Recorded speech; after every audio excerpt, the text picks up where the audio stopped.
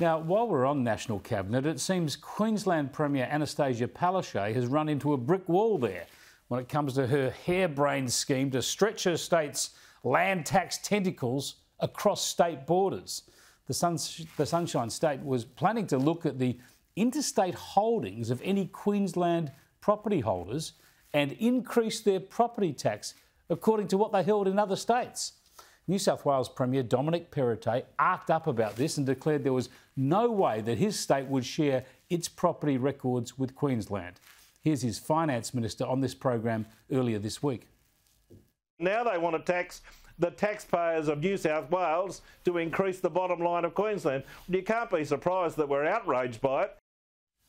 Well, it seems like when she turned up at National Cabinet, Palaszczuk might have got the message because suddenly the plan has been dumped. Been reported in the last hour you've, you've rescinded your land tax proposal.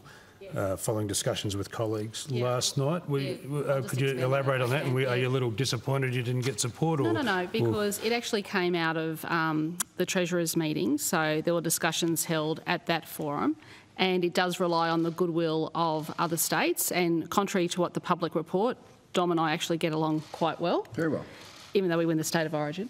Um, but in terms of, you know, it does require the goodwill of other states, and um, if we can't get those um, additional information, um, I will put that aside. How about that? The Federation working in our favour for a change, stopping a Labor tax grab. Now, at the risk of sounding repetitive, do we think this would have happened without Dominic Perrottet taking a stand?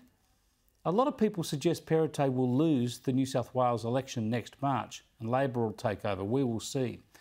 But can you imagine what a sham the Labor dominated National Cabinet would be without his strong right of centre voice?